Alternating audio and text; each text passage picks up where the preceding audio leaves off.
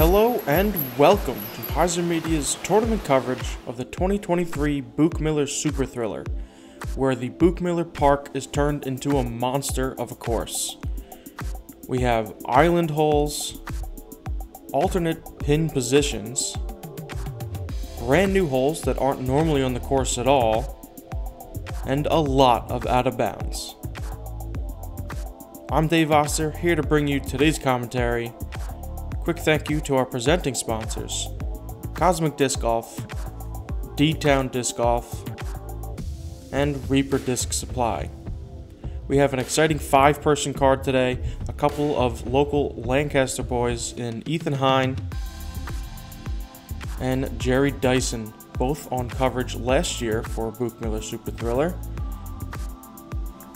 The lefty forehander, righty backhander, Eric Moul, tied for second, shooting four down, 1,000 right around. First timer to our channel, Rob Beckey, shooting one down, tied for fourth with the highlight king himself, Ramie Millar.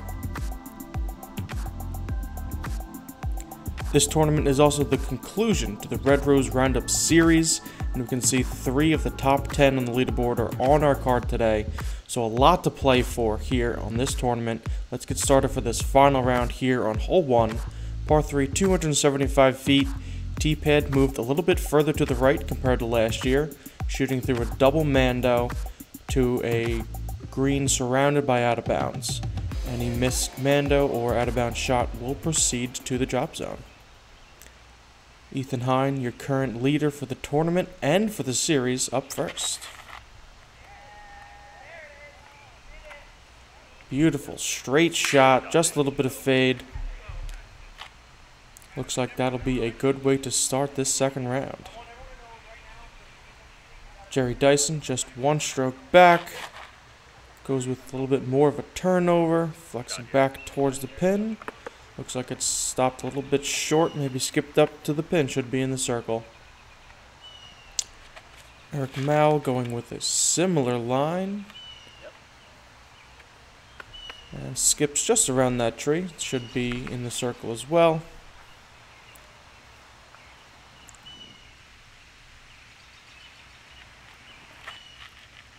Rob Beckey going a little bit higher, a little bit flippier, fading out at the end but should still be near the circle. And Ramie Millar looks like he's going for a little bit of the water line, starting left side of the tee pad. Ooh, bit too wide, and that is going to be out of bounds. So, for the five players, great shot. Ramie can definitely get up and down from the drop zone here. Tricky drop zone. Obviously, it's still out of bounds all around the pin.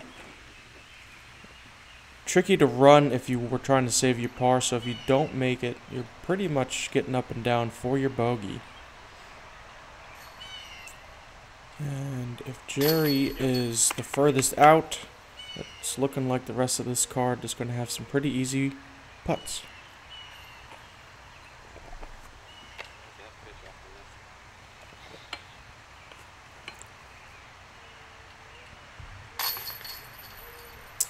Nice putt by Rob. Hole 1 was coming in at about a quarter stroke under par, fourth easiest. The course overall is playing obviously much harder than it normally would if you've played this normal layout, either the normal baskets or the alternate.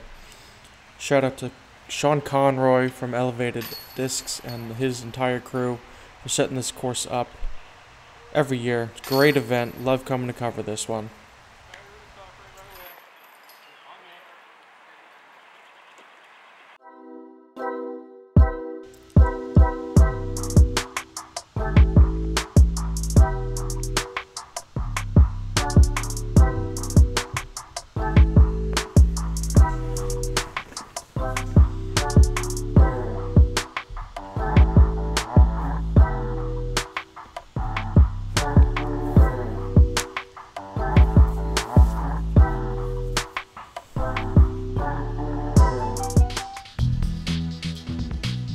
Hole 2 is a par 4, 544 feet, playing as a double island hole. So landing around here will give you your first island, and then the basket all the way down to the right of the pickleball courts. Around the corner will be your second island that you have to land in. This is a new pin position for this year. It was on the first island, just down the hill on the left side. This is a nice change, making just a little bit harder. Another par 4 on the course. Ethan Hine goes just around the tree, catching a couple branches but landing inbounds. Should have a fairly easy straight approach.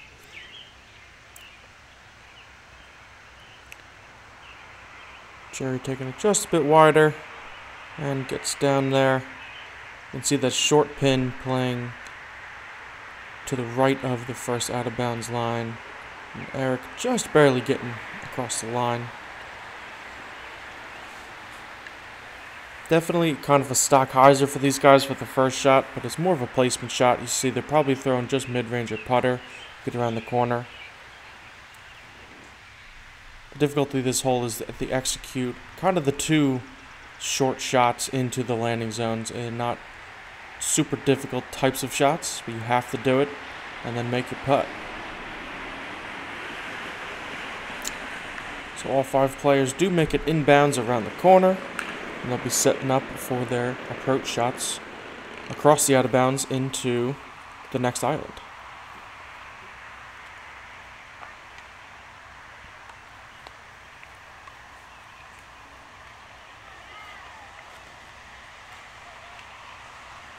Rob going right at it and great shot. A little bit more fade that could have given the basket a scare.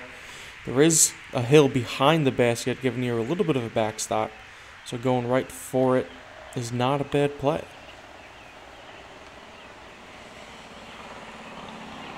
And you going a little bit more of a hyzer route. It's a little bit long, but again, that's probably the play. Don't want to leave it short.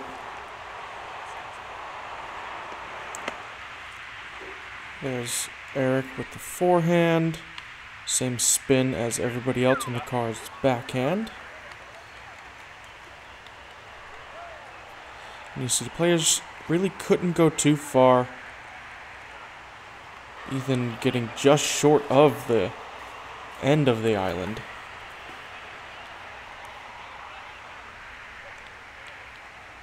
Ooh, good line by Jerry as well. So everybody within the circle, couple of downhill putts coming up.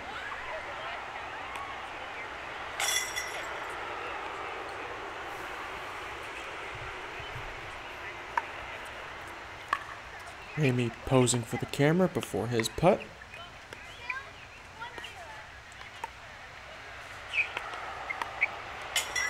And a little band, but it goes in. So makes up for the bogey he got on the hole one and back to where he started. And just a little bit high for Eric. This being a temporary basket, the band a little bit thinner than you'd see in the rest of the baskets here, um, causing his disc to skip and go about the same distance past as it was, and chaining out. Couple of unfortunate putts for Eric. Current leader Ethan keeping pace with Jerry, keeping one stroke ahead, down to seven under par. Rob also starting with two birdies. So the unfortunate bogey for Eric, the rest birdies. And we'll move over to hole three. Another par 4, 430 feet. If you're familiar with the course, we're playing to the alternate pin for normal hole 7. Pass all this down the hill and to the single chain basket down there. OB left and right and Amando left to keep you from going towards the tee pad for 4. Ethan going forehand. Little low, but misses the trees, so he should have a clean approach. And pretty much no matter where you land, the approach is going to be blind having the basket down the hill. Only being 430 feet, this is potentially reachable, but probably not something you want to go for. This isn't a bad play if you do want to get a little more distance, having the low ceiling. Don't want it to curl too much, but that does curl up in time to stay in bounds.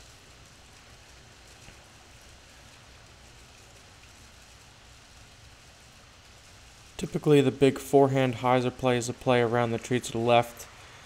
The players wanted to push a little bit more and maybe even a little bit to the right. That's also a bounds around the Mando. Um, this straight play is more the play for today.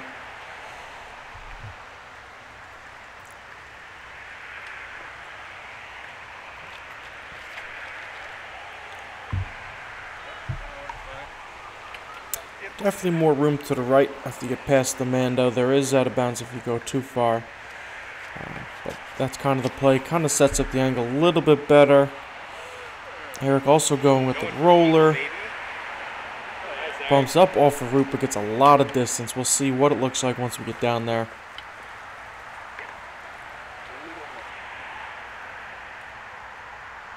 So, Ethan going past the normal basket for this hole.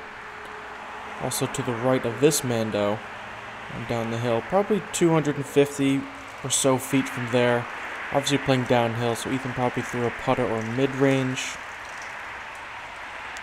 Ooh, Rob catching a tree right at the top of the hill, kicking right. It'll leave him with a long, maybe long bit at it. A short approach. Maybe just floating one down there. Knows where the basket is, just has to get it to sit down.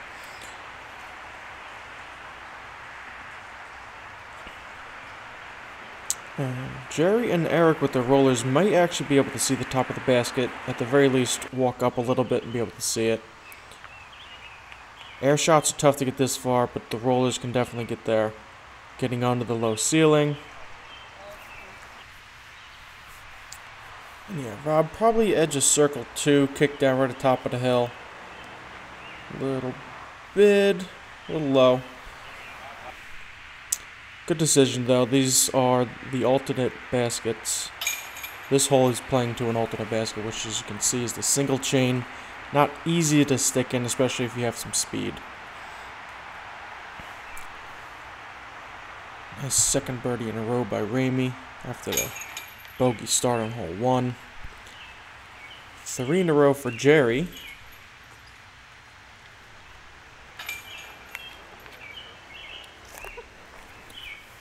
Good bounce back birdie for Eric. First par for Ethan. Letting Jerry catch him and tie him up.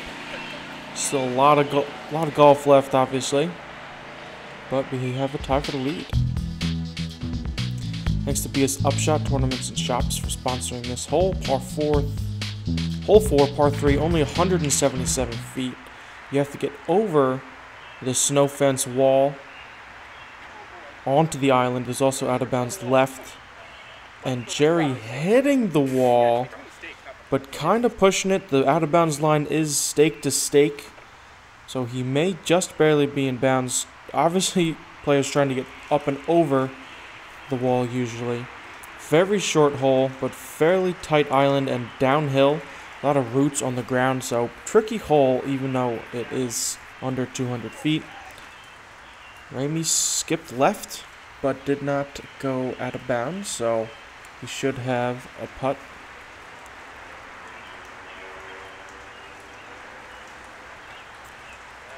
Great shape. Taking the wide route, hoping for the skip towards the basket. Looked like it did so.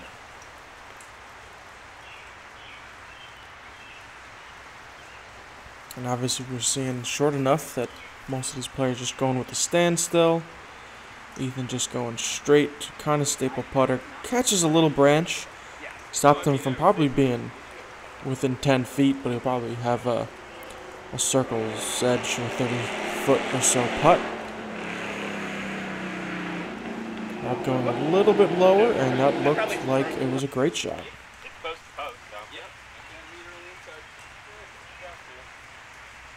So taking a look, and looks like Jerry was in bounds. So he will take his meter away from the fence and have about as long of a look as you can on this island. 40 feet or so. Decides just to lay up. There is out of bounds behind the basket, pretty close as well, so smart play for Jerry. Oh, just a bit low. Looked good. Tough to commit with that out of bounds line behind, like I said. A little bit downhill. Tried to float it in there, but good bid nonetheless. Ethan with a nice birdie, getting that stroke back from Jerry. And Ramie barely in bounds. You can see the green flags right there. Taking his relief and getting a birdie. Eric also very close to the out of bounds line. Probably be saying that a lot today, as that's kind of the whole point of this tournament and the course is adding a lot of difficulty to an otherwise pretty easy course.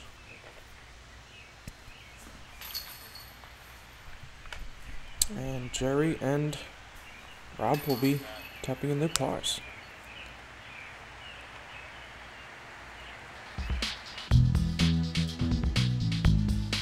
Over to hole 5, par 3, 390 feet. This is also an island hole with a optional drop zone, so you can lay it up to maybe 150 or 200 feet or so, and you have to pass over an out of bounds area that is maybe 100 feet wide or so, going straight towards the pin, and then opens up as you go to left. So you don't have a bailout zone. You have to lay up, or you have to make it on the island.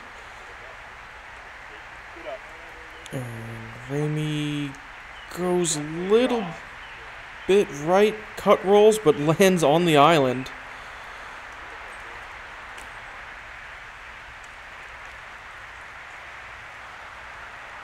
Going first always is the trickiest, trying to decide on the wind. And Eric goes intentional roller. And pops back up right by the basket. Great roller. He'll have an inside the circle look.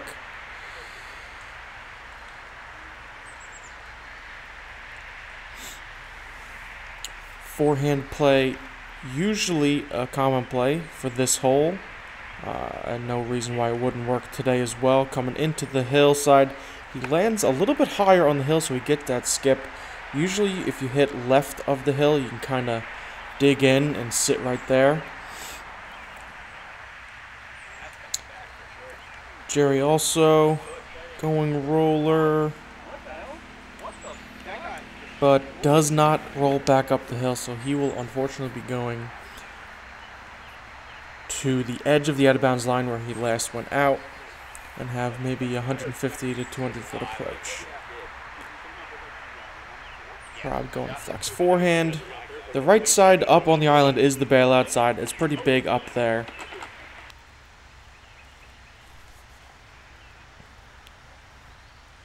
But it'll leave you a long approach. Obviously, ooh, good run by Jerry, trying to save the par or just get it close for his bogey. And you can see about as far on the island as you can get. Far away from the basket, that is. Giving it a little bit of a bid. Also, it slopes down severely behind the basket, so you have to be careful not to go too far past it. And Eric inside the circle after that roller. And cashes the birdie.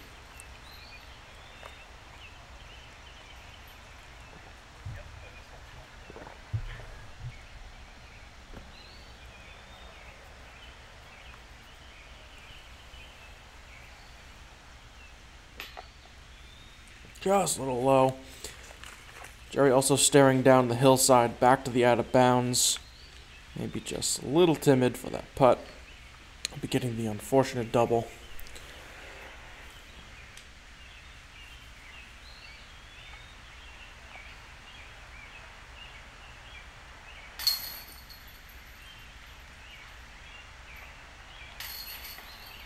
And Ethan, even though he got the par, will still be gaining strokes on Jerry.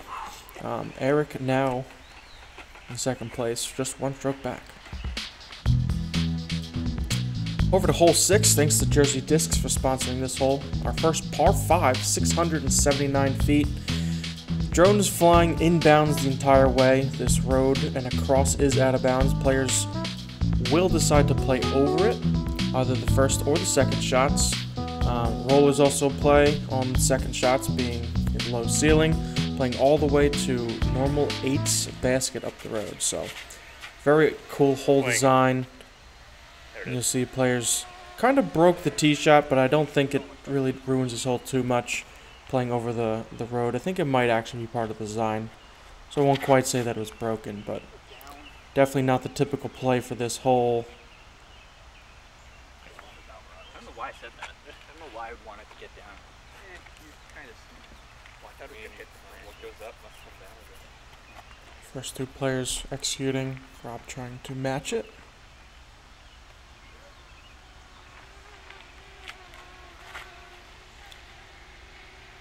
It's a little bit wider.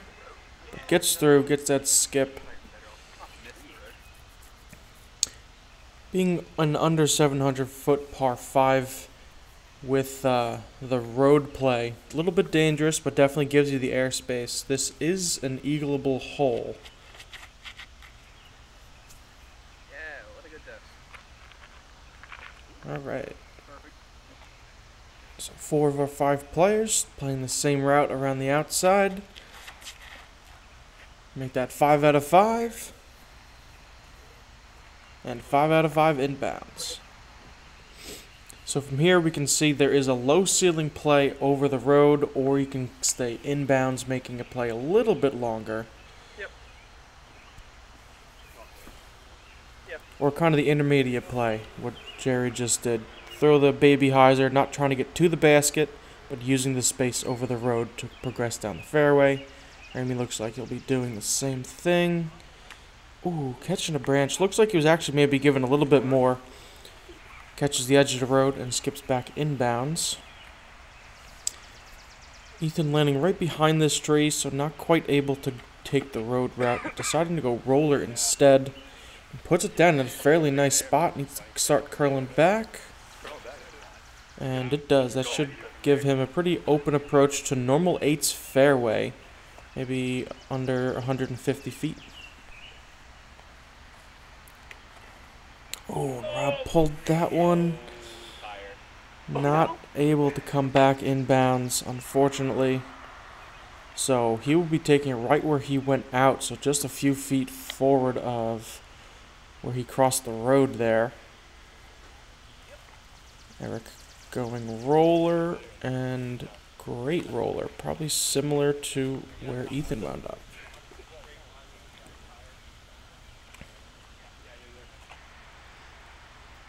So Rob with essentially a stroke and distance type penalty progresses a few feet forward, but will now be throwing four, I believe. And kind of pulls it again. It has some stability, gets a good road skip, and he will be within the circle to save his par. So, a couple of wide shots, but hopefully no harm, no foul. Get out of this hole with a par. Jerry took it pretty wide as well. Oh, and doesn't get the skip in the roll. That will be out of bounds. Fortunately, he did cross like three quarters through his flight, so he'll be able to progress most of the way forwards. Ethan and Eric in layup zones over there on normal 8's fairway. I take that back. Alright, there was a bit of a. Maybe a little bit of a run for Ethan. Tough to say. His jump putts can sometimes look like they're going in, sometimes they're layups. Definitely seen him on the channel before make some long bids.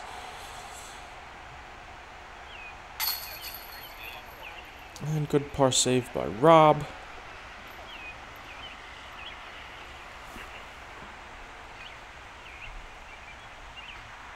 So we're going to be getting a bunch of birdies here. But I do have to shout out one player in the second round who was able to get the three. Daniel Seidel. Congrats to him. Definitely doable, but he was the only one to do it this round. So shout out to him. Over to hole 7, par 4, 523 feet. Thanks to Darkside Disc Golf Dyes for sponsoring this hole. There are three pins on this hole. We're playing to the one, two, three pins down through these woods here, out to the opening. Pretty tricky hole, out of bounds on the left and the right side, playing from further back than normal nines tee pad. So there's a couple different plays you can play. Eric playing the aggressive play, trying to get out and around the corner um, set himself up for maybe uh, a shorter approach or this play. Just get past this one tree in the fairway, left side preferable to set up more of a straight shot and try to get aggressive on your second shot. Maybe yeah. taking a bit wide, but use his ability to disc, get back. Oh, and you can see him sweating it for just a second, but landing in a good layup zone. This is definitely a pretty interesting hole with all the out of bounds, and you'll see later it gets very narrow further down the fairway you get. Okay, just get around it. A nice flex forehand for Rob. Looks like he landed inbounds further down the fairway, so. Um, but as I was saying, it gets real tight down by the, the second basket and then back out in the open for the third, so tricky to get all the way through, especially if you're trying to go for it from further back, like the guys who laid up. So, um, pretty much just trying to punch into the woods, honestly. There is out of bounds if you kick too far, so have to be cautious of that. But Ethan and Jerry seem to have made it in there fairly well. Eric a little bit further on the right side, so he's going to have to go with that turnover forehand. And kicks kind of into the woods a little bit further. He'll have a tricky third, but should be able to see the basket from there. And you see a little bit more left side. It's a bit straighter of a shot. We still can't see the final pin. It's further around and through. And Rob actually, with the furthest approach, gets pretty far through there. Kicks some trees, hit hit a branch or two, but he'll have maybe a circle two look.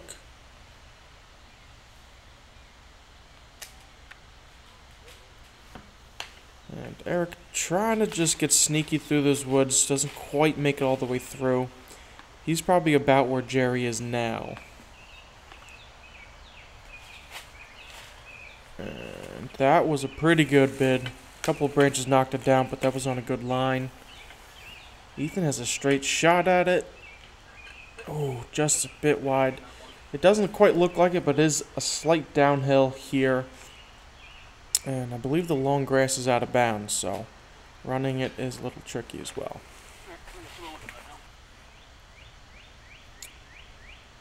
So Ramie lined up perfectly except for the branches right in front of him. Just tickles him but takes it a bit too wide. So Rob closer to circle's edge than circle 2. And nice putt to save the par.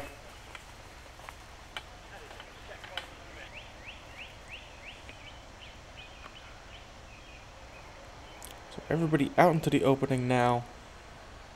If Ethan's the farthest from here, everybody will just be cleaning up their putts.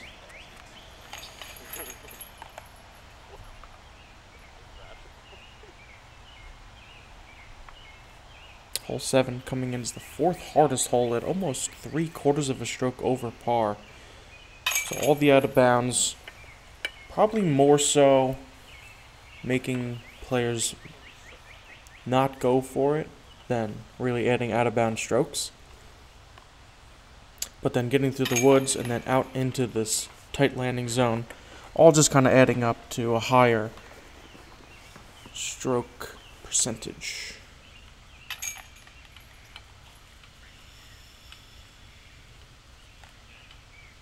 So I think Eric must have had an out of bounds stroke or two in there to get that double bogey. But we'll move over to hole 8, par 3, 305 feet. There is an out of bounds island short of the short pin. So if you land in there, you actually have to come back short of it. Essentially, you have to get all the way across it or wind up in the woods either side to not be out of bounds. The ideal shot, of course, is just playing normal hole 10 up and to the long basket behind the big tree.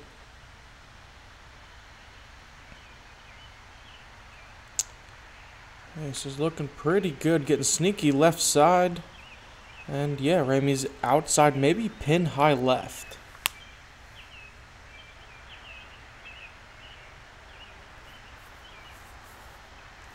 Rob going a bit more of a flex shot. Does get past that out of bounds, just barely getting close to our right now catch cam operator Anthony. And Jerry getting just about up to that tree. That's probably close to circle two. Eric a little bit wider.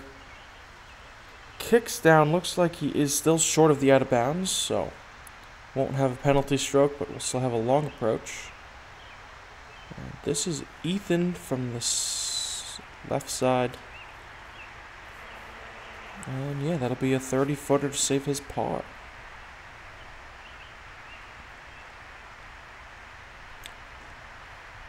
Eric choosing to go forehand and very good choice. Puts it to tap in distance. So very long look for Rob for his birdie. It's got the height. Oh, just a bit too much height off the band. Dead center looked like. Great bid for Rob. Ramie also for birdie. Just a bit left.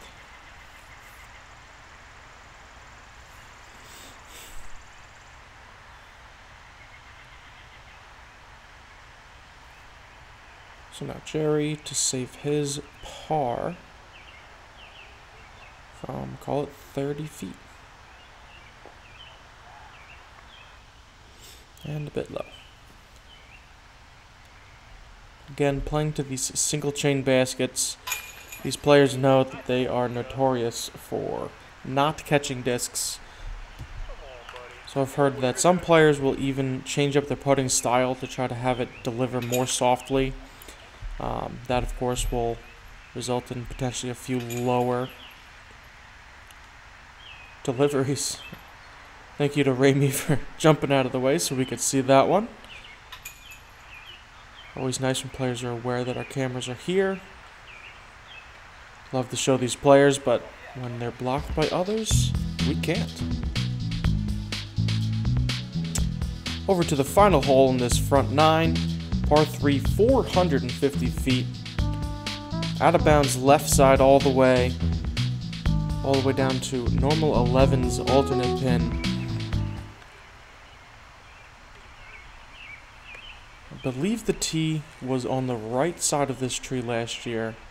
Going for backhands. Now it looks like forehand line is the play. Either super wide or you can go more straight at it under that branch.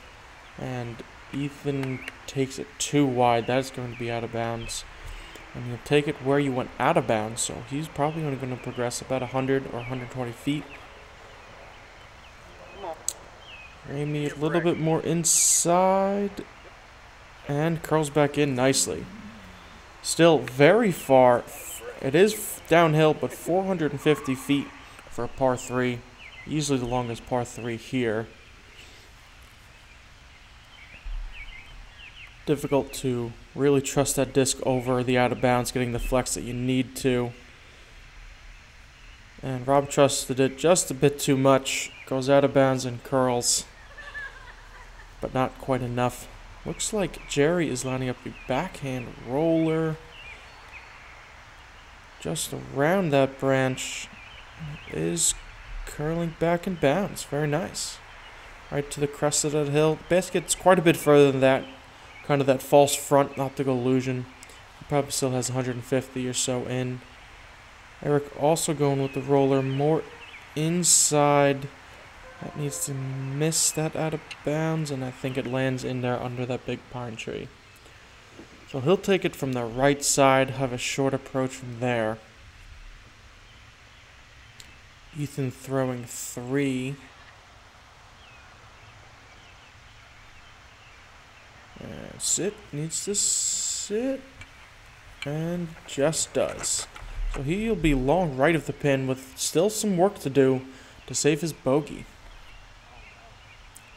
Ooh, Rob gets his little nose up and lands in the out of bounds bunker right side. So two out of bounds strokes for Rob and still again circles edge are further from the basket there. Um, to try to still it up and down maybe.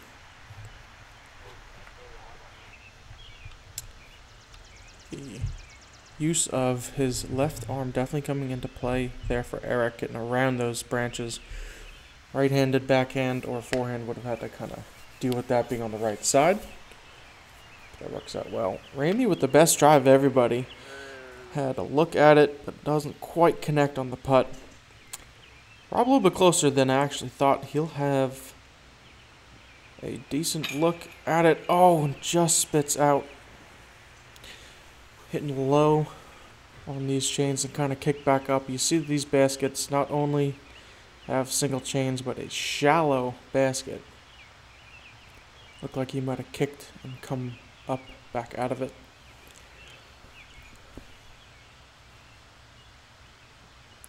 Ethan to save his bogey.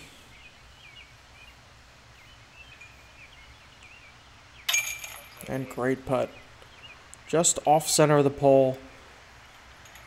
This that is a uh, a good spot to hit. One of the only baskets that dead center middle isn't the sweet spot if you're putting hard. Um, chain's not quite enough to slow your disc down enough to not bounce off the pole and kick back out.